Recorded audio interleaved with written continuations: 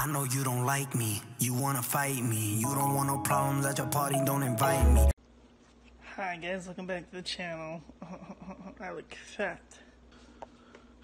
Anyways guys, in this video I'm going to be showing you what I got for Christmas this year, 2020. I did not get a lot. Uh, I only got like five things, so um, it's still a good Christmas. Uh, I'll just show you what I got, and yeah.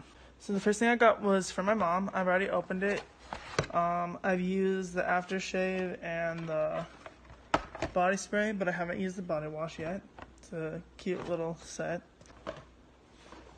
And then for my nephew, from our Secret Santa thing we did with my family, I got a computer case. It's nice. I've been using it. Fits my computer. It's cool. Then the next thing that I got is for my sister.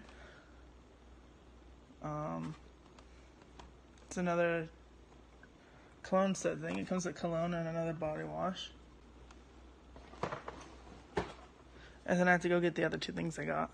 So the last two things I got are from my sister and her husband. The first one, and that is, I meant the first gift, not her first husband. It's her only husband. Um, this is what they gave me. A 20.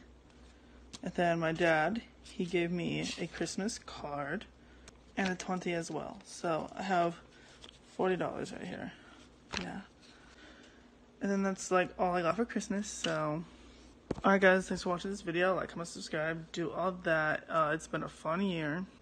I hope you enjoyed my videos. This is my last video of this year. So, thanks for watching.